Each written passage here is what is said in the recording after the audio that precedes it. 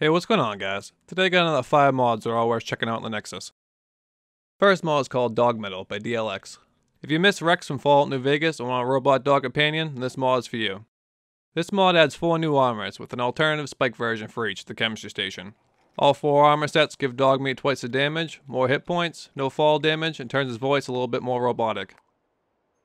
The first armor is the basic model, which turns Dogmeat into half dog, half motorcycle. I actually think this is the most lore-friendly armor out of the bunch, because it looks like it was actually pieced together from scrap. The second armor is the wolf armor, which is my favorite out of the four. This armor makes Dogmeat look so much more intimidating, and if the Institute made robot dogs, this is what I assume it would look like. The third armor gives Dogmeat a set of power armor. If you're someone who loves the X-01 power armor, this version's for you. I love to see a mod made in the future that gives the Brotherhood dogs, because this set would fit that perfectly. The last armor is the Beast armor, which is personally my least favorite out of the bunch. Dogmeat sort of looks like a centipede slash scorpion, and the spike version makes him look like the Dragonborn. Overall though, it's just a really cool mod, and I love the way the wolf armor looks on Dogmeat. Just get warmed up up. The next mod is handy for people who really love settlement building, but hate going out scavenging for supplies just to be overburned in 5 minutes. The Disassemble and Transport Junk Chem by DD Productions 83 adds a new chem crafted at the chemistry station. When your inventory is full of junk, take the chem, and now everything is broken down to the crafting components. The best thing about this mod is it's all transported to a Sanctuary workbench. While it's technically a cheap mod, it beats having to leave stuff behind, and saves yourself from fast traveling back and forth. The third mod is Illuminated Billboards by Ceaseless and PDE. This mod adds some glow to all the billboards scattered around the Commonwealth. While it looks nice, I feel like this mod is not going to be for everybody. I personally really like the added glow, and it adds some character to the wasteland at night. But at the same time, it can be a little overwhelming and in your face in certain areas. This mod gives me a New York type of vibe, and some areas can look like Times Square.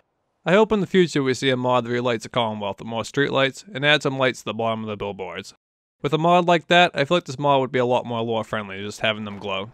Either way, whether this is something you want in your game or not, you have to admit they look pretty great. The next mod I have is called Road Flares by mattsahuman. This mod adds craftable road flares to be tossed down anywhere you need a little extra light.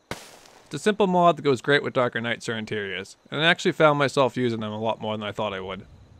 The flares also have the extra benefit of scaring off animals too, so if you're ever in one of those that want to be left the hell alone moods, just toss one down, the animals will waste it and run away. The last mod I have for you is a standalone Vault 98 settlement mod by Ryanc229. It's a clone of Vault 89, so if you've ever been there before, then you know how much room you have to build with. This vault comes with a working vault door, unique Vault 98 textures, and even a Vault 98 jumpsuit. The vault consists of two parts, the entrance and the main vault. The entrance is your own personal area that has a standalone workbench that works just like home plate, so you can decorate the entrance however you see fit. Then there's the main vault that works just like a normal settlement, so you can send settlers from other settlements here and even set up a working supply line. This mod also gives a new water cooler that gives 20 water, so your vault dwellers won't be thirsty.